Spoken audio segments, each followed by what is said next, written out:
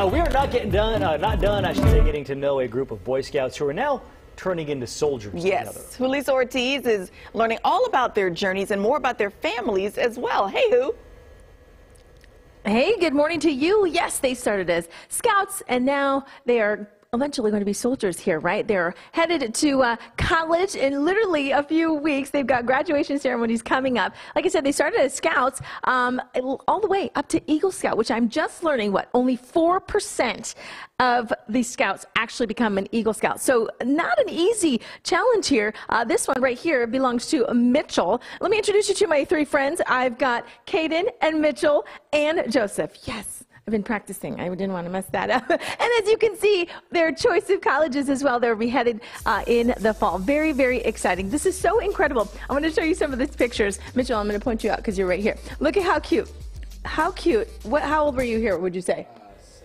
Seven years old. Look at the little at guy. All grown up. Oh Look my at gosh. the little guy. I know, so darn cute. and of course, you've got all kinds of fun mementos over the years. So cute. So one of the things about Eagle Scout is you have to do a project, right? And we've got photos of one of the projects here. This is Mitchell's project. Um, and this is how you earn your Eagle Scout, uh, one of your awards here. And this is something that it, it takes some time. Yes, ma'am. So my project took me about nine months long, um, figuring out where to do it, Yeah. the people that I needed to do it. Um, I had about 10, 12 scouts that came with me. So what did you do? What was your your pro- your project? So my project, um, both of my siblings also did projects at Oak Ridge Elementary School in Oak Park, Uh-huh. um, and this was just kind of a community that need needed some help. And so for my project, I built a bench around a tree for the kids to sit under the shade at recess, Uh-huh. and I refurbished their um, garden there and their outdoor classroom for the kids to learn.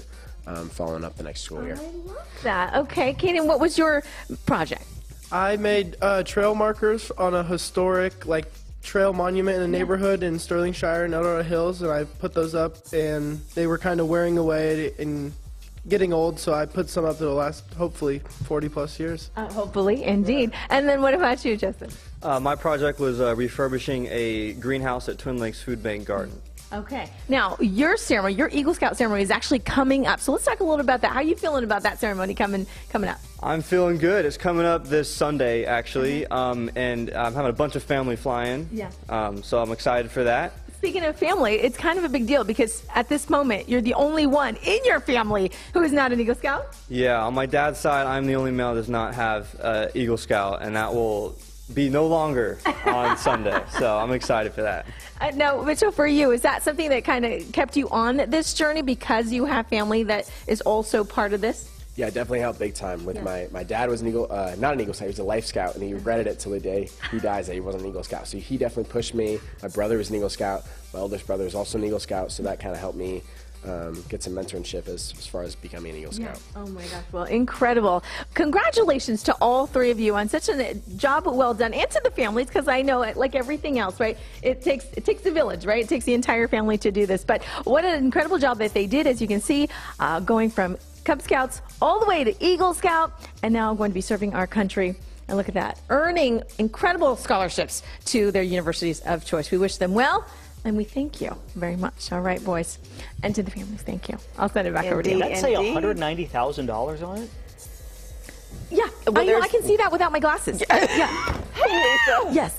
The numbers Right? are big enough. And then there's, there's another one right over Yeah, here. that one right so there. big. Look at that. Kaden, Oh. We didn't even. We, they needed Wow. two checks. This was for four hundred thousand. I know. Get Kaden to sign the back and Let then me tell you, I know how much that helps.